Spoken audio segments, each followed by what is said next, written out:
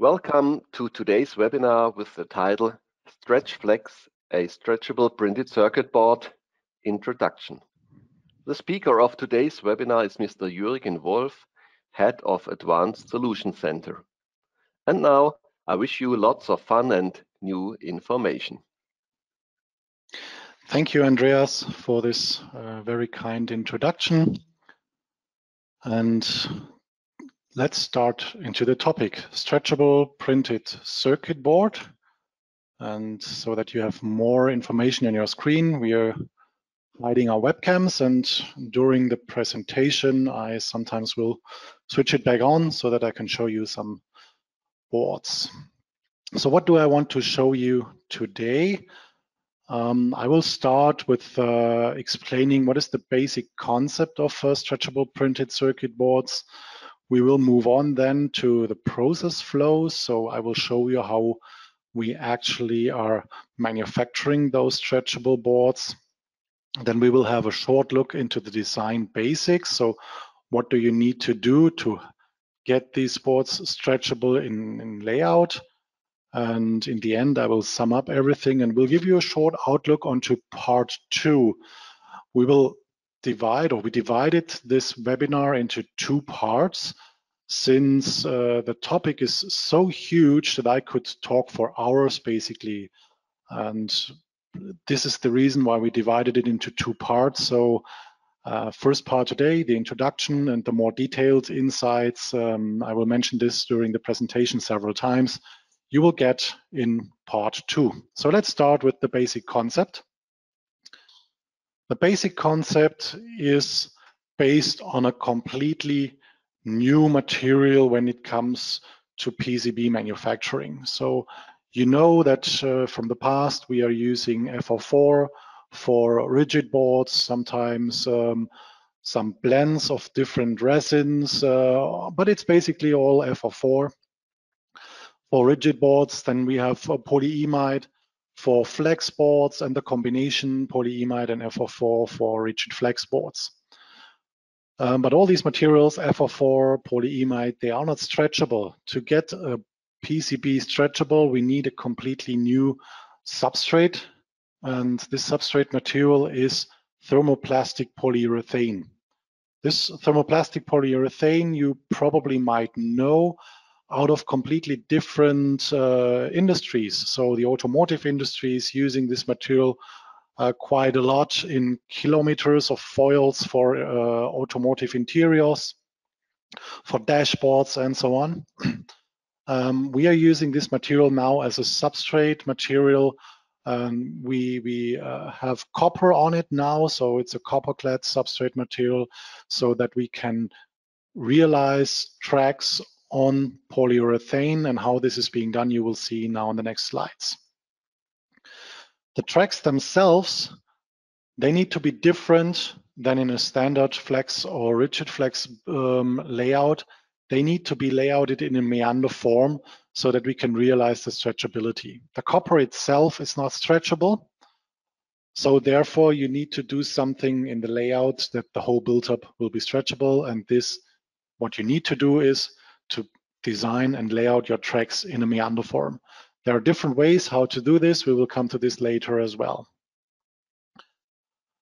Our general aim was we need to use established manufacturing processes. So we didn't build up a complete new fab, like for example, a roll-to-roll -roll manufacturing for this technology. Everything is based on our existing fab, on the existing equipment, so that we have the good knowledge of the machines and we established and the manufacturing based on what we know. And what is really, really interesting and good about this material is that you have very uh, various further processing options. So you can go to a thermoforming or deep drawing, so you can th create three-dimensional shapes out of it. You can have a back injection molding, you can laminate it, and this uh, what you see here are examples uh, for this. In the middle, you see uh, stretchable PCB laminated onto a textile cloth.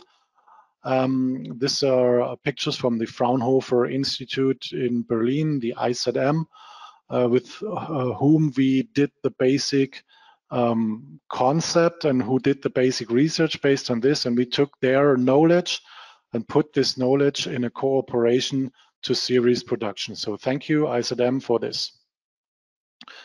On the right-hand side, you see an example for uh, thermoforming. So we have a polyurethane together with a PC, and uh, in a, a 3D um, thermoforming process, you get this dome shape like um, contour or shape uh, with the LEDs on top so that you have a three-dimensional form.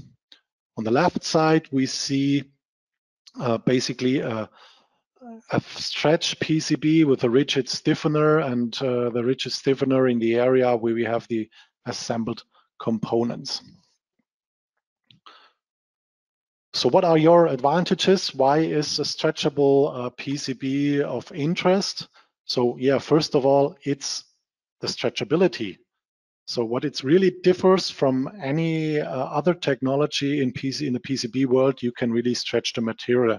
And to demonstrate this, I will activate my webcam.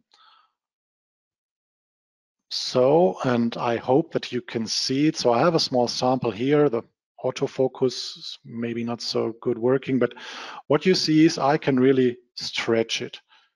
There are tracks on it in, in meandered shape, and I can stretch this so that um, the tracks, the, the conductivity is still going on, uh, but you have a stretchability which is not reached in polyimide or FR4.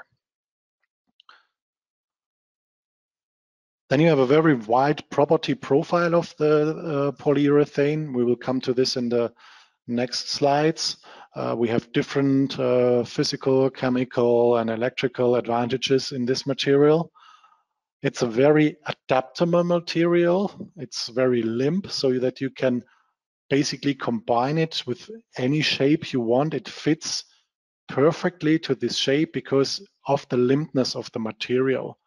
When you compare it to polyimide, um, this limpness is really, really, it's very soft and therefore you can adapt it to almost any shape you want to have it as you see it on the bottom right picture. And you can really rotate it and crumble it without much influence on the stability and the electrical performance, like you see in the picture in the middle. So any rotation or any uh, deflection is not that kind of a big issue compared to a polyimide. A polyimide tends to to break, to to to scratch, to have um, problems in reliability when it comes to different bendings. And here in that case, that's not of an issue because the material is so soft that any cracks which might occur are actually already been stopped due to the softness. So the cracks which you might visit or might see in polyimide, and again, I can uh, reactivate my webcam. I have a, a rigid flex board here. So when you look, for example, in this in this corner here, this might be uh, an area where polyimide might tend to crack and break when you uh, bend it in the wrong way for poly uh, for polyurethane, this is not of an issue. So you can really have this even in, in such a configuration that you have a bow and twist like you want to have it. So this is not that big of an issue for the polyurethane compared to the polyimide. And therefore, uh, it's suitable for all kind of applications in all kind of different uh, technology sectors. Uh, at the moment, I would say 80% of the products we are already uh, producing and working on is uh, out of the medical sector. But we have uh, big interest from the sensor technology, from textiles, from robotics, and so on as well.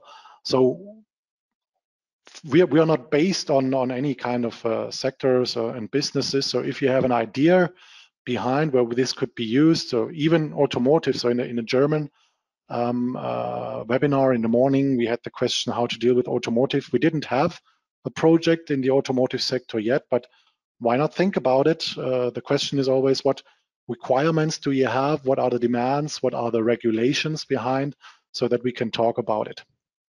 And see if this technology might fit to your idea, to your application. Let's look at the properties of the pure polyurethane. So when we look at the polyurethane without copper, just as a base material, um, it is a very skin-friendly material. This skin friendliness, um, you might, as I already said, that's the reason why it's being used in the automotive interior, for example, quite a lot. Um, it's a biocompatible material, and we are even doing at the moment research and tests uh, regarding the biocompatibility when it comes to the combination of the polyurethane together with the copper and all the different other materials we use when we manufacture uh, the PCB. So even here we are testing if this is uh, fully biocompatible. And it's very flexible and, and limp, and I've already shown you this, this limpness. Maybe in comparison, again, I switch on my webcam. I have a, a rigid flex or a rigid stretch basically made with the polyurethane and you see it's so limp that this flexible part uh, just falls down basically when we look on a rigid flex made out of polyimide and you see this is a, a flex here in polyimide it's so stiff that when I release it it goes back into form maybe when I go up with the background so you see the stiffness is so high that even though it's polyimide and it's flexible, it springs back. And compared to, to polyurethane, polyurethane is so limp, it just bows down. So here you see the comparison and the limpness of the material itself. Then it's hydrolysis resistant and microbe resistant so that it can be used in all different uh, medical applications. We have a good weathering resistance and we have a high wear resistance of the material. When you look on the chemical performance, well, it's free from any plasticizers or softeners. So the flexibility and the bendability itself is not being created by introducing another kind of chemistry to make it soft. So there is no plasticizers in the in the build-up. The flexibility is uh, basically created from the molecular structure of the material itself. So you have more rigid molecule structures and more flexible molecule structures in the build-up itself. And the combination of these rigid and flexible structures in the polyurethane, this gives you the flexibility and the stretchability. So no additional chemistry inside, which might outgas or whatever. Then it's stable against oils, grease, ozone, tar, and many solvents, as well as uh, diluted acids. And when we go to the physical properties, we have a softening range, a softening area of about 155 to 185 degrees Celsius. Um, if you look close onto this temperature, you might see, oh, there is something I didn't expect. I earlier told you that you can assemble it, and I showed you a picture with components assembled onto this um, polyurethane uh, but now you see 155 to 185 degree and you think, okay, when I solder my boards, it's 245, 250, 255 in my reflow oven. How, how, how, that, how does this go together? And yes, you cannot use your standard, uh, for example, tin, silver, copper, uh, as your standard solder paste. You need to have a low temperature solder paste and we have quite high experience now with this low temperature solder paste.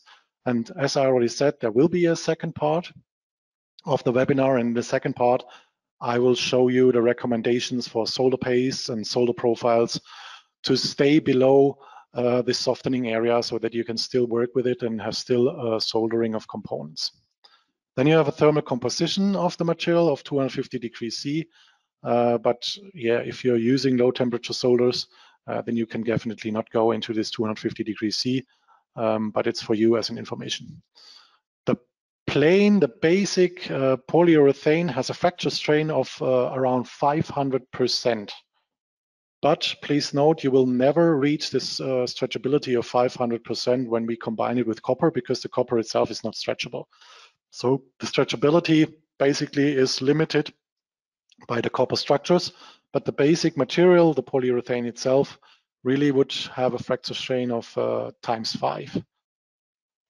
Then it uh, has a high elasticity over a very wide temperature range and it's UV and radiation resistant. When we look on the electrical properties, we have a dielectric constant of 4.4. Uh, so it's very close to, to the FR4. And again, in the in a German webinar, I was asked if we have already any kind when it come uh, any kind of um, knowledge and experience when it comes to impedance controlled build-ups. And unfortunately, no, not yet. So when you want to have a differential pair, this uh, might be easier. But if you have like micro microstrips, strip lines, there we do not have yet uh, big knowledge. And you will see later why, because of the layout itself. When we want to have it stretchable, um, the tracks need to be layouted in a meander form. And up so far, we do not have any experience how these meanders behave in an impedance built up. Uh, the dielectric strength is uh, rather high. So you see when we have a dry board, it's around 9 kilovolt per 100 microns or 90 volt, uh, 90 kilovolt per millimeter. Um, but you see as well that there is a moisture intake in the material. So when we uh, store it in 80% relative humidity, uh, the dielectric strength goes, strength goes down a little bit due to the moisture intake into the material. So let's have a look onto the process flow. Um, and to keep it short and simple, I will start with the single-sided stretchable PCB here. We take the polyurethane and we laminate it with one single copper side. Um, this technology and this material is so new that there aren't any manufacturers out there at the moment who already offer a copper clad polyurethane.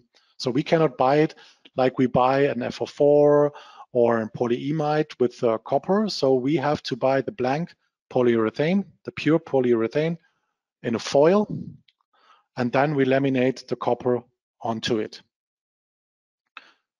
Then we go to the structuring, and this is basically the same structuring for the single-sided. It's a it's a standard subtractive structuring. So we we etch away the non-needed copper.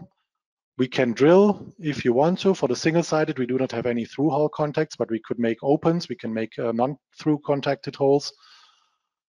And then this is something which took us quite a long time, which is not very easy to do, but we um, managed it. Um, this is new because now we can secure copper tracks with the same material as the base material. So we can laminate uh, polyurethane on top of it so that you have a single material surrounding the copper tracks. When you look on uh, polyimide, for example, um, it's very hard to have a polyimide substrate and have a polyimide coverlay in, I would say, 99% of the cases. Uh, you use a polyimide with an acrylic or an epoxy glue uh, in the cover lay so that you can laminate it on top of the polyimide.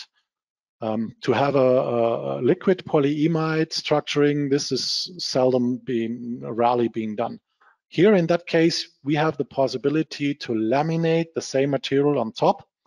And it took us quite a long time to find the right process window in the lamination because when you increase the temperature too high, then the bottom substrate melts, gets weak as well, and then the tracks, we, we call it they swim away. So they do not stay in the same location as they are because the material melts. So this is quite a, a process window we had to find and a, combination between pressing cushions, process temperatures, vacuum, pressure, and so on to get the polyurethane laminated on top so that everything stays where it should be, but you still have a, a, a, a very good um, yeah, a very good bond between the top and the bottom polyurethane. What we even saw is that when you do a microsectioning, the bond is so good that you cannot find any kind of interface here in between the top and the bottom polyurethane. So you have one material and no different interfaces. And then, yeah, in the end, you can uh, add your solder surface and do the final routing to get the final form as you want to have it. Regarding solder surface, we have uh, different options. Yeah, the question is always, can we use nickel gold ENIG? Yeah, you could, but we do not uh, advise you to do so because the nickel itself is so brittle that when it comes to any flexible bending, it already starts to break. So this is the same as in polyimide bending. You wouldn't want to use uh, nickel in this build-up, but there are other options like uh, chemical tin or using palladium gold, uh, silver gold.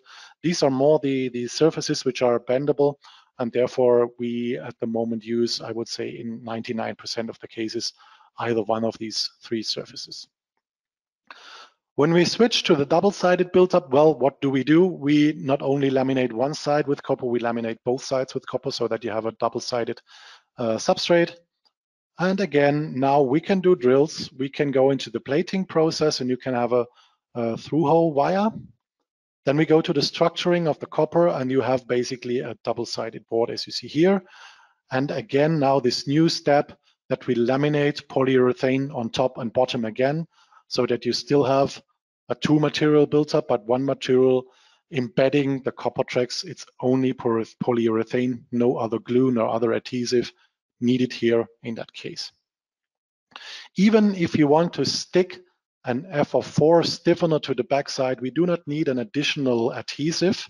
It's just the polyurethane which we use here, and the polyurethane is used as the, the bonding agent to the FR4 as well.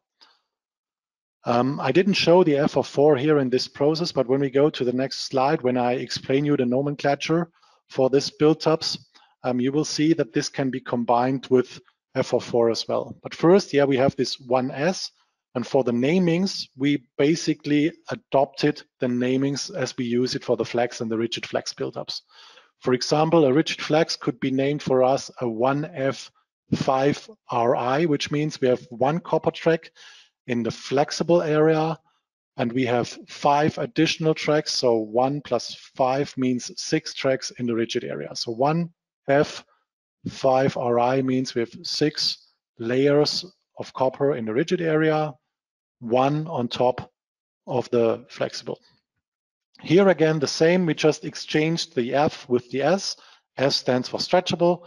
So instead of flexible, it's stretchable. And the 1S means you have one copper layer, nothing else in the stretchable material. Then we have the 2S, which means you have two copper layers in the stretchable material. Then we have the 1S 0 RI, which means you have a combination between polyurethane, the stretchable material, and a rigid material, but there is no additional copper track in the FR4 or on the FR4 compared to a 1S 1RI. Here you would have a copper layer in the stretchable material and one additional copper layer in the rigid area so that you have an overall of two layers in a rigid area. What I haven't shown in the manufacturing process as well is that we can combine this with solder resist, but please take note that the solder resist itself, uh, it can be applied on the polyurethane, yes, but it's not stretchable as the polyurethane. It's more like the polyimide. It can be bent, yes, but it's not stretchable. So please only use it partially in the area where you want to have components and where you want to have components. Yeah, for sure, the components are not stretchable as well. So there it works. You can have this solder resist to act as solder resist so that the solder doesn't flow away from your pad. But in the areas where you want to have a stretchability, please leave it out of the layout. You do not need it there. Okay, so we move on to the design basics. Before we start this, I have a short poll for you. And I would like to ask you the question, which factors have an influence on the stretchability? So Andreas, please activate the poll. All right, so you can choose, um, but that's there's not one correct uh, question. You can choose all of the possibilities. All so right. it's multiple uh, choice for you. Yeah, correct. We already have 10%, um, so 15, 20%. The process ongoing Still a few seconds. You still have the chance to give your idea to the poll. 60%. So five seconds, five more seconds for the poll. Then I will close it and show the result. Okay, there's still coming answers. Okay, so I will stop now and show the result and Jürgen will go into the details. Great. So you think that the copper layer thickness and the copper distribution has the highest influence, that the shape of the meander conductor and the base material are on second and third? Well, yeah, this uh, is quite interesting. Um, to be honest, yeah, Andreas, you can switch back to the presentation. Thank you. To be honest with you, well, each of these points you've seen here, each of these factors has an influence on the stretchability. And the only question is which one has the, the highest influence, but they have all an influence. So all the answers were correct. And as you've already seen, and uh, yeah, I already mentioned this in, in, in the previous slides, um, the copper has a very high influence on the stretchability of the match of the build-up. And therefore, we did quite some testings and quite some investigations behind this. And therefore, we need to find, uh, need to create new reliability requirements. So we saw a stretchability is not being present for, for standard rigid flex or flex build-up. So we need to do something new in testing. And what we did, for example, is we wanted to have a look on the cyclic strength when you take different copper structures, so different heights, different thicknesses, and even different copper meander forms. And then we'll have a look on the elongation and see, okay, when we stretch it by 5%, by 8%, 10%, 15%, 20%, what happens? And therefore, we created millions, almost, yeah, not that much, but really hundreds of different samples with different copper structures. We created our own measurement device to have a cyclic stretching um, in combination with an in situ measurement. So here you see this kind of built up. You see the device which is being, or the board which is being tested, uh, clamped in between those two parts. So we have those clamps and they have internal electrodes so that we can measure this track being attached to it. And yeah, then we go to a cyclic load. So you see this in this movie. So we really stretch it. And I have this in a little bit more detailed view. So we really stretch it, measure, release it, measure, then we stretch it again. And it's always being measured the resistance of the track in the minimum and the maximum elongation points. And then we have a look how many cycles the copper track survives. If you have a very bad layout, it's maybe only 10 or 15 cycles. If you have a very good combination between copper height, meander form, and copper width, this can go hundreds or thousand cycles. So it really depends on the copper. And if we have a defect, yeah, for sure, we have a look on it. So what actually broke? And here you see two pictures of a horseshoe type kind of layout before we go went or before we went into the cyclic stretching. Everything is nice. You see the tracks and you see the same layout after the cyclic stretching. And when you have a closer look here, you see this is where the maximum stress must have been because here we have copper tracks which broke. And when you have a closer look, you probably might see that the left-hand one is the one which led to the failure. The right-hand one still has a very small hairline of connection, but you see this in the in the dynamic uh, stretching. So you see a slight increase over lifetime uh, of the resistance of the copper track. So you have this sliding disease. You see that the cracks are starting to to to wander into the copper. And when it comes to the breakage, yeah, the resistance goes up into the mega ohms. Um, I already said we have a part two of the webinar and the details, which layout forms, which copper thicknesses are uh, uh, relevant and good and not so good. This will be shown in the second part of the webinar. For you today, I only can say that there are different meandering shapes which we had a look on. So if this is a horseshoe shape, or if this is more a wavy shape, or if this is more a, zigzag shape, or if you have a double line connected uh, in the maximum stress areas with tracks again, so that you have a redundancy or whatever. So we had a look on these build-ups and we did some quite a lot of testing and you will see the results of the testing in the second part of the webinar. Today, as introduction, you see there are different forms and shapes which you can use. Um, the question is which track width and spacings can be used.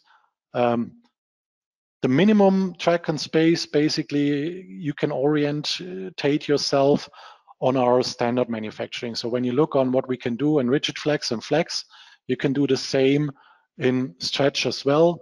Uh, depending on the copper thicknesses, you can use the track and space from our design rules there. Um, regarding the maximum copper thickness, I was asked in the German webinar as well, so I will give you the answer now as well. Um, at the moment, we are working with the standard thicknesses, 9 microns, 18 microns, 35 microns. More copper doesn't really make that much of a sense because the thicker the copper, the stiffer, the stiffer it will be, and therefore this uh, stretchability, this this performance is not given anymore, and so it doesn't make sense for this kind of technology.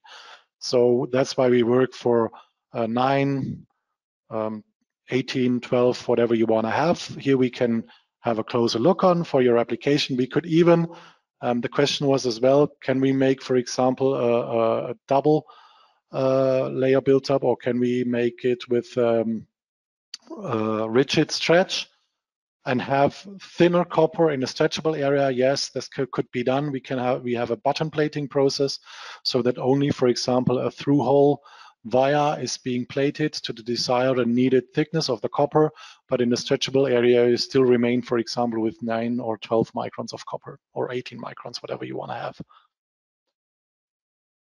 Of course, you can create your own meander design. Uh, basically, everything you can think of is possible. The structuring is like in any other FR4. We structure what you do in your layout.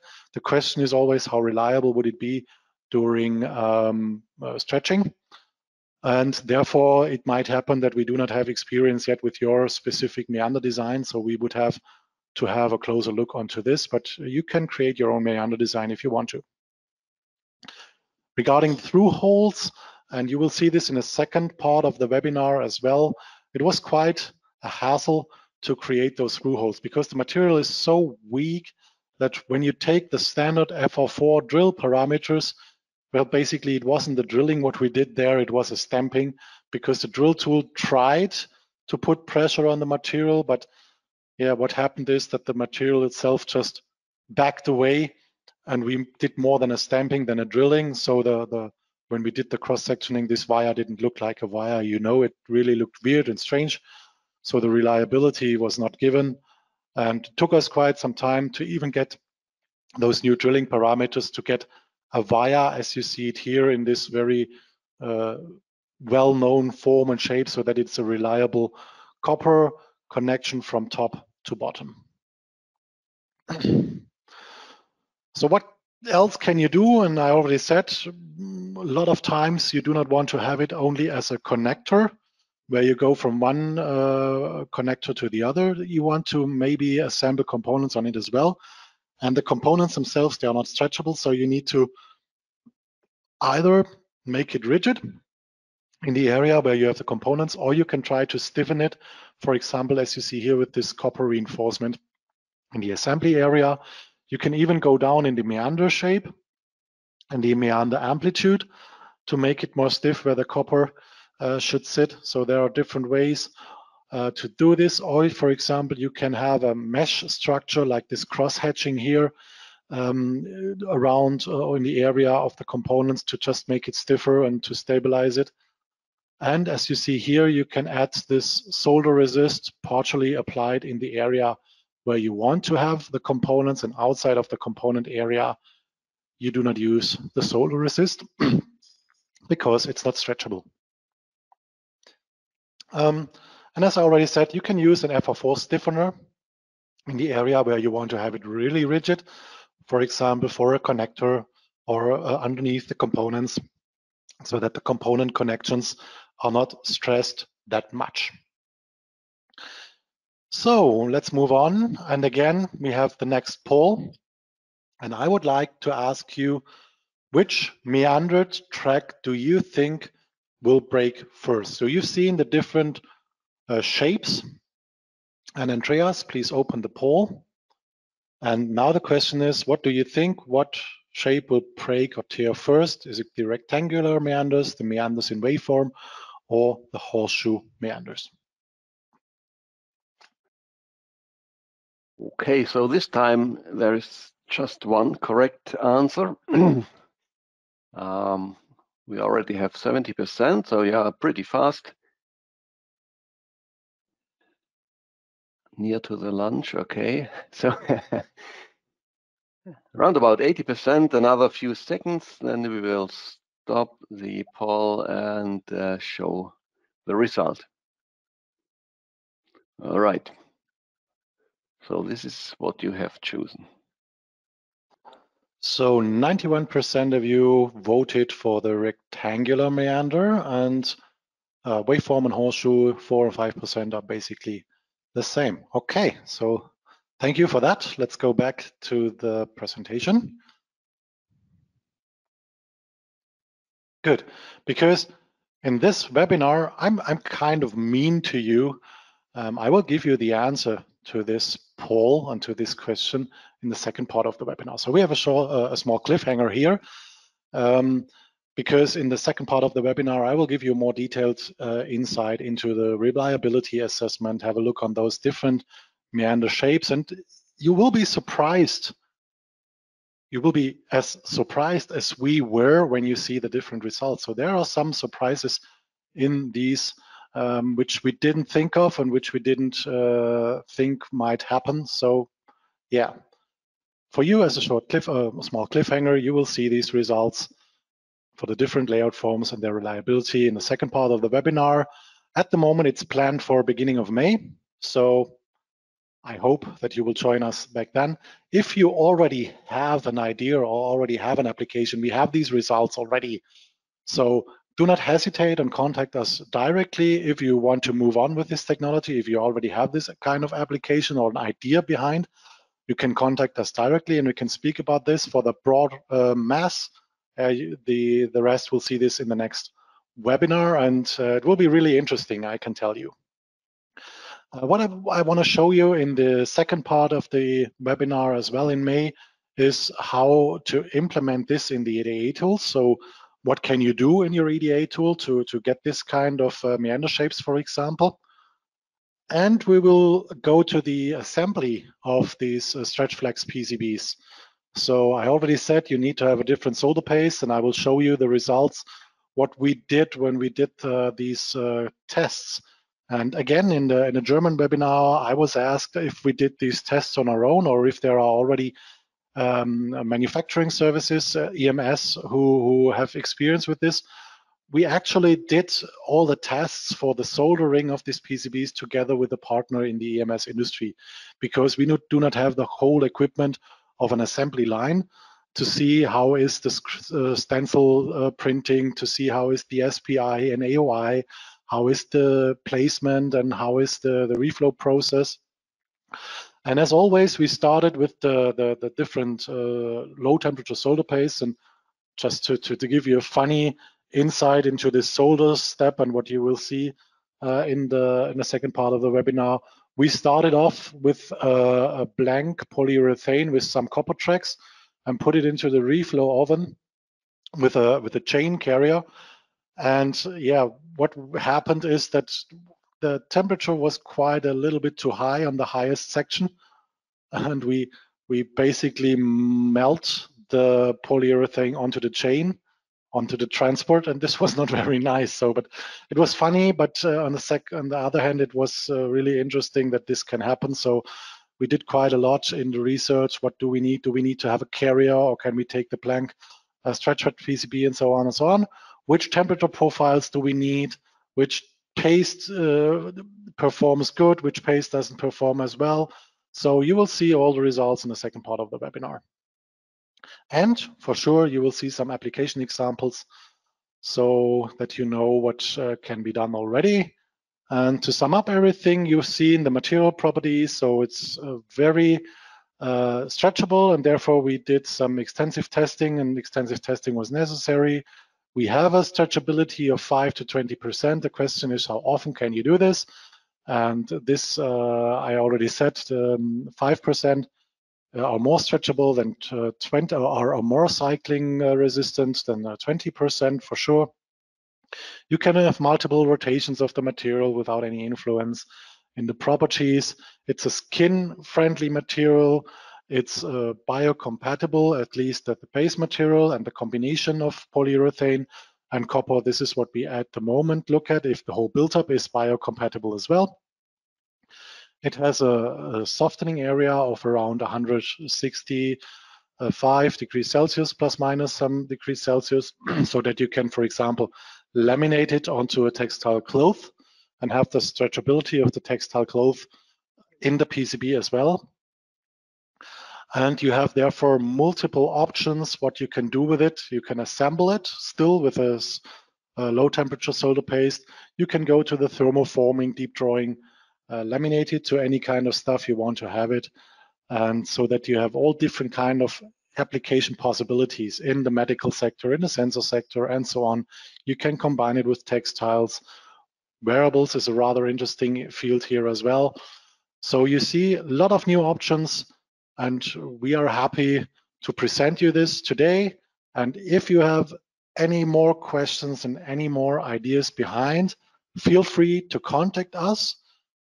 You can even request a sample. We have these hand examples already for you which you can order. You can take it in your hand. You can stretch it by yourself. You can measure it by yourself. So there are contacts. Uh, there are stiffening structures on it. So you can really see what can be done. You can order this from us. Either you write us an email or in future, maybe probably in, in one or two weeks, there will be a section on the website as well where you can order this sample on the website as well. So for now, contact me or contact your sales rep uh, which you have already a contact to from Würth Elektronik, and we will provide you with these samples.